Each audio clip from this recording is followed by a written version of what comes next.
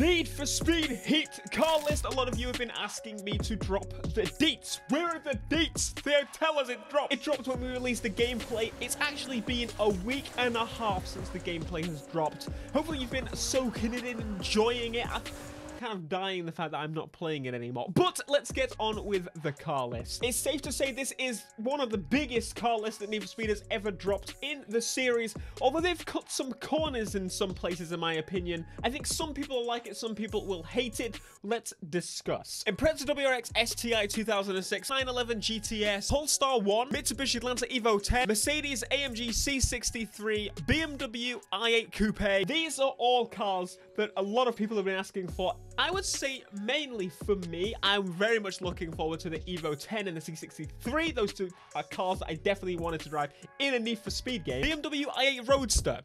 Wait, hang on. Yes, I did just say i8 Coupe and i8 Roadster. Yes, they are both included in the game for some reason as separate cars, not combined cars, so you can't just take the roof off. But fair in real life, that's exactly how it is, right? BMW M3 E46 GTR. That is the proper M3, and it's also accompanied with an also 2006 M3. Yes, um, you can kind of see where I'm getting with this you're going to see a lot of this repeating throughout the video. I'm not going to tell you the whole car list, but I'm going to give you a whole bulk of what's new and what we're most looking forward to. Nissan 370Z Nismo. That's not really new. They've actually updated the year of the car and it comes standard a Nismo, I imagine. So that's a little bit different to how it was before. But then they also have the Nismo 370Z 50th anniversary edition. Again, very strange very, very strange. They're just kind of rehashing the cars multiple times over to kind of get more numbers, and I feel like that's going to be a case throughout the list. Well, I, I know it's Mercedes AMG GTS Roadster.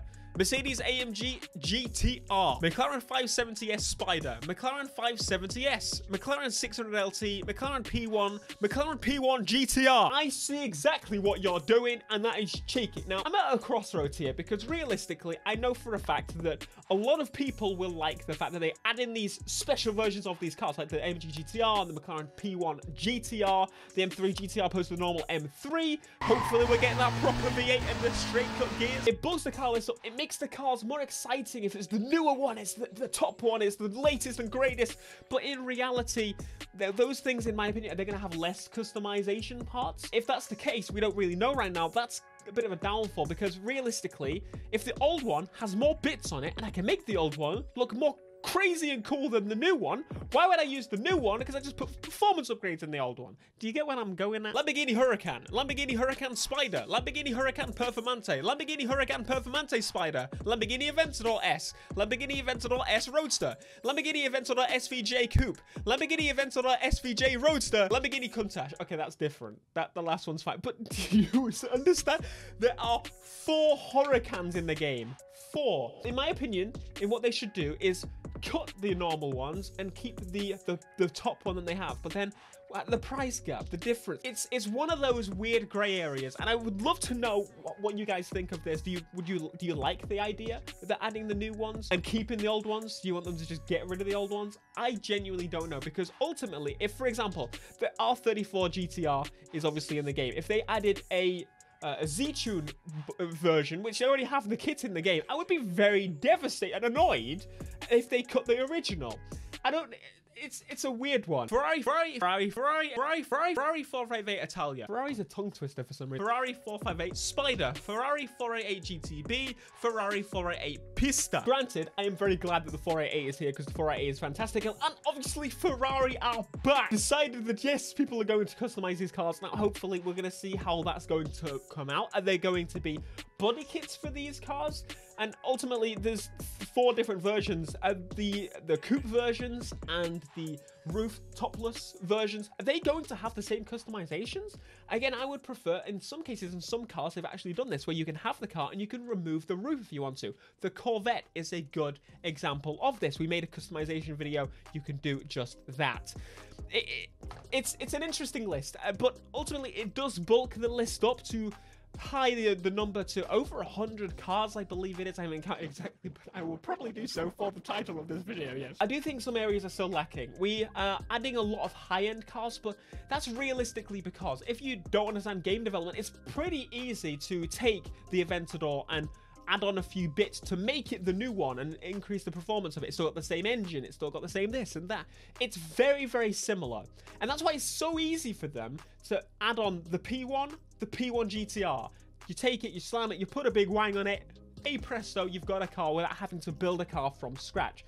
The cars that I want to see built from scratch, I'm talking about I want to see some tuner cars. I've spoken about this a million times before, but also some American muscle cars, some older muscle cars. Of course, we've got the Camaro and the Challenger and the Charger, and every, we've got the, the bulk of them, the best ones, the some of the best. But we don't have all of a big category library of them. And again, the tuner cars is where I want to sit the most, and I worry there's a lot of these hypercars are they going to overpower everything else? Ferrari F40, Ferrari LaFerrari, and the Ferrari FXXK Evo. This, though, uh, we're talking about rehash content. I like that there's a LaFerrari and FXXK, and it's going to be a game where, obviously, in the Crew 2, the only other game that I've really played that I actually really have an interest in the FXXK is because in that game, it's a touring car. There's not much you can do with it, unfortunately. Whereas the LaFerrari is a street race car. In this game, there's no barrier. You can drive the FXXK Evo in a street race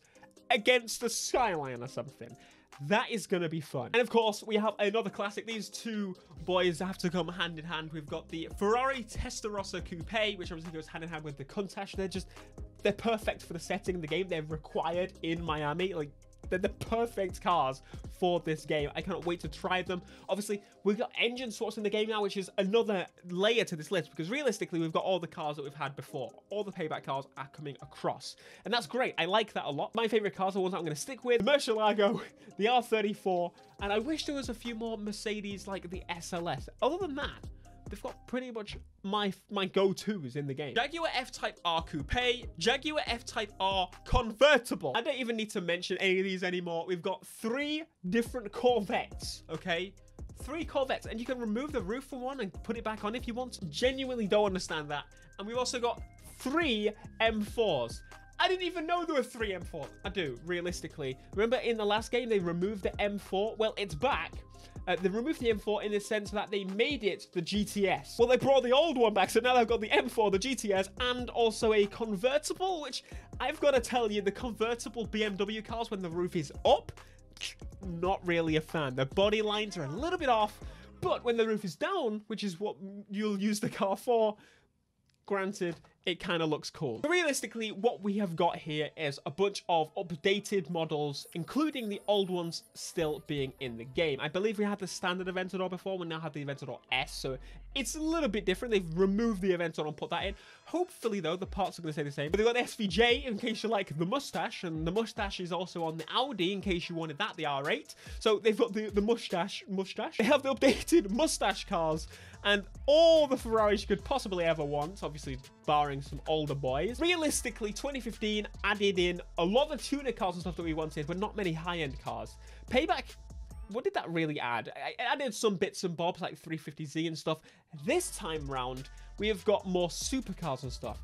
And my my big my big picture idea of the franchise going forward here, I don't mind it as much as I used to. And hear me out here. The reason why I don't I don't really mind so much is hopefully, you know, with DLC or something they can add in those tuner cars. But more realistically, the next game, if they then decide, yes, let's add all the Ferraris and stuff we possibly can in that game as well, that's when I can be annoyed. I, I get that we've already had two games that focus more so on the tuner and low-end stuff. This game now had a double amount of the supercars. Next game surely has to go back to a little bit more tuner focus added to the car list, but realistically, I'm happy with the tuner cars in the game. I would just like to see more of them in the future. Do you get what I'm saying? If you scour through the car list, there is something very special. We already mentioned the M3 GTR being an hopefully an actual M3 GTR this time. Maybe third time lucky. Never know. Nissan Skyline GTR, Eddie's from Underground, Rachel's 350Z, and the Ford F-150 Raptor Fem from Pay. But I really don't understand why that's one of the special cars. Was three of those cars that were listed that have these brackets and tell you a little bit more details about them. Fem from paper. What? Really not not impressed by that whatsoever. But hey, if they want to link the story in some way, sure, go for it. Uh, but in terms of these cars, if they mention the M3 is split from the M3, but realistically it was the same in 2015, we still have that hope that the M3 has the good sound, right? All right, that is the full car list that I've picked out the best the best ones from the list. Obviously, Ferrari returning a lot of supercars and re-upgrading the Badger, retrofitting cars if you will. A lot of coupes turned into convertibles, which is great for the theme, and not many tuner cars whatsoever. In fact, did I pick out any in this list? The Evo 10. Yeah, that's that seems to be about it. Okay, anyway, my friends, the car list. Let me know what you think. Obviously, this is going to attract a lot more children I want to say because supercars are cool, right? Right? But they've got a Polestar on the front. Seems a bit anticlimactic. Anyway, be sure to smash like, subscribe if you are new, and I will see you in the next Need for Speed Heat videos, which I have planned super soon. Until next time, peace.